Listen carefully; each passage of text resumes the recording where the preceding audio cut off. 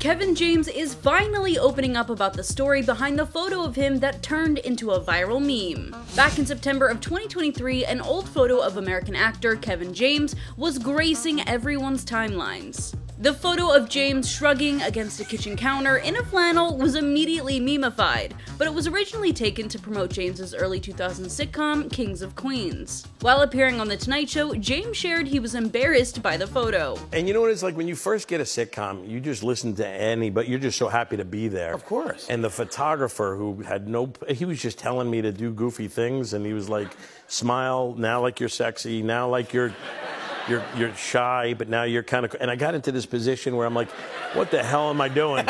and then I said, well, please bury that one. And he yeah. goes, yeah, no worries, that won't come back. However, the actor then leaned into the fun by recreating the iconic look with host Jimmy Fallon. Hey, Kevin, thanks for doing the show. Oh my gosh, you're doing the meme. Yeah, I can't stop doing it. Jimmy, I'm stuck in the meme. Well, snap out of it. I tried. Oh no!